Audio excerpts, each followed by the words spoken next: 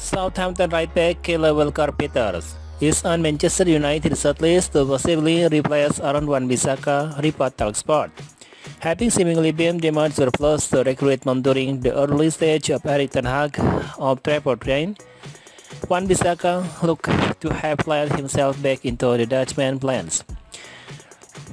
With Diogo returning from the World Cup with an injury, the 25-year-old son has started all three of United Premier League games and the domestic season resumed.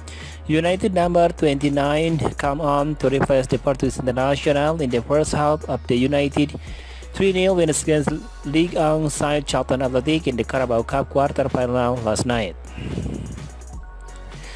Without facing a rest to prop his fitness ahead of Saturday Manchester Derby, Wan-Bissaka could start both uh, Premier League games in a round against Pep Guardiola citizen, while the likes of Roma, West Ham, Wolves and Leeds United have also been linked with a number with a map for the England under 21 international Kyle Walker Peters. It would be a surprise to see Wan-Bissaka depart this month unless it was for a hefty sum. Given United don't have the fund to go big and replace Cristiano Ronaldo this month, fans are not likely to be released to sign a new right back.